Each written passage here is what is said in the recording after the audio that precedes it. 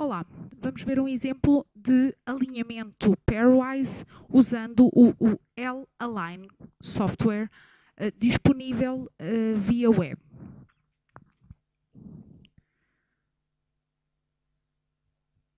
Este software permite efetuar alinhamento local, alinhamento global ou global sem penalização no, da falha final.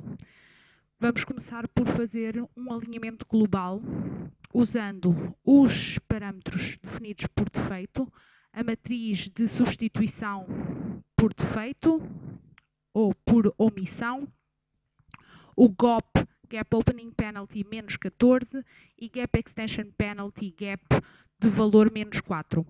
Vamos começar por alinhar o gen com o coding sequence ou open reading frame. Vamos buscar as sequências do gene.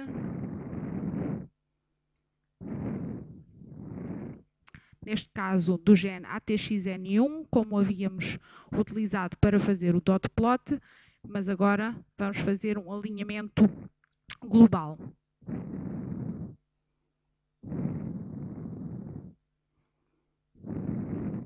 E vamos colocar a sequência do coding sequence do mesmo gene.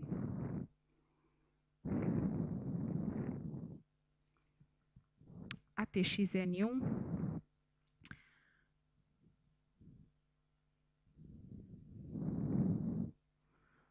Vamos utilizar o CDNA ou coding sequence. Vamos pedir para correr o alinhamento e observar os resultados. Primeiro pode, podemos confirmar o tamanho do gene que tem 10 mil, cerca de 10 mil pares de bases, 10.602, e o cDNA com 2.448. O score valor final é 20.404 negativos. Portanto, existem falhas extensas que vão dar um valor de pontuação do alinhamento global negativo. Podemos sempre consultar os parâmetros, menos 14 para Open Gap e menos 4 para Extension do Gap, da falha. A percentagem de identidade é 23.1. A primeira fase o gene não tem qualquer correspondência, só começa a alinhar com o cDNA por volta de 940 nucle... do, do, nucleótido na posição 940 e começa com o codão de iniciação ATG.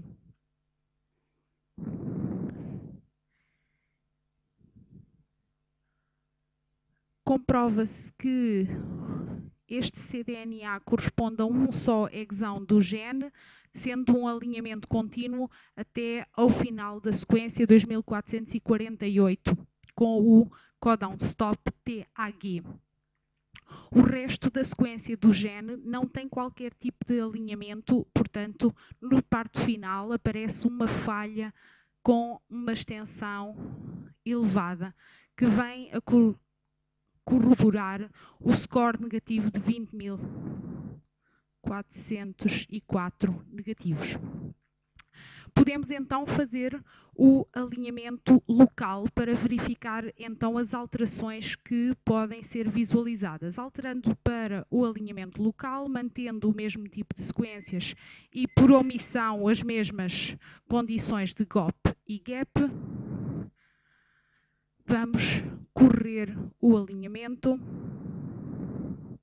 e observar que os resultados apresentam simplesmente a zona do alinhamento de aproximadamente aos 940, quando começa o alinhamento do códão de iniciação ATG com o ATG do gene na posição 940 e termina o alinhamento exatamente na posição quase final do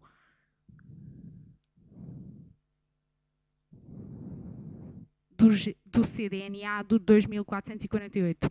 Tendo sido pedido mais do que um alinhamento, ele mostra força, alguns alinhamentos forçados pelo menos mais dois, cujo alinhamento não é perfeito. Neste caso do alinhamento local, os parâmetros de score e identidade referem-se somente a esta parte do alinhamento, pelo que temos 100% de identidade numa cobertura de 2.448 nucleótidos e o e-value é de 12.200, o score, a pontuação é de 12.240 elevado a 10.000. Portanto, um valor de score bastante elevado. Temos então as grandes diferenças entre o alinhamento global do início ao fim da sequência e o alinhamento local. Assim, pode-se concluir para sequências de tamanhos distintos, deve ser usado o alinhamento local. Para o caso de nós querermos saber exatamente a percentagem entre uh, duas sequências de tamanhos diversos, obviamente que o alinhamento global permite-nos tirar essa percentagem. Todavia, no alinhamento é facto que o gene e o cDNA alinham 100%, sendo representado o alinhamento com dois pontos. Obrigada pela vossa atenção.